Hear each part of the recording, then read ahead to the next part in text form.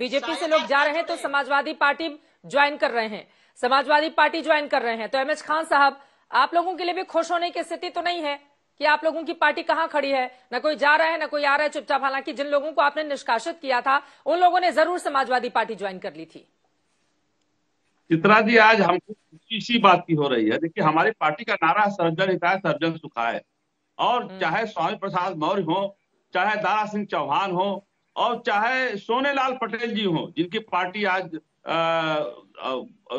Bharatiya Janata party के साथ तालमेल कर रही है। ये मान लीजिए इस सारे लोग ये सारे लोग बहुजन समाज पार्टी में आने से पहले प्रधान भी नहीं थे।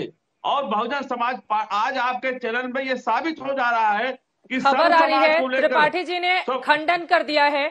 खंडन कर दिया है। रविंद्रनाथ त्रिपाठी ने बीजेपी के विधायक रविंद्रनाथ त्रिपाठी ने फ़िलहाल पार्टी से की सदस्यता से इस्तीफा देने की खबरों का खंडन किया है इनकार किया है।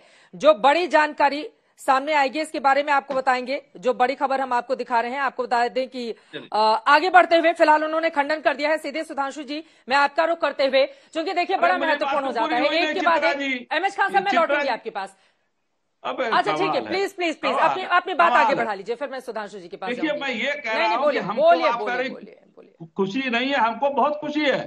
खुशी इस बात की है कि चाहे स्वामी प्रसाद मौर्य हो और चाहे दारा सिंह चौहान हो चाहे सोनेलाल पटेल हो सारे लोग राजनीति में आने से पहले बहुजन समाज पार्टी के सदस्य थे और बहन कुमारी मायावती जी ने इन सारे समाज के लोगों को बढ़ाने का काम किया था।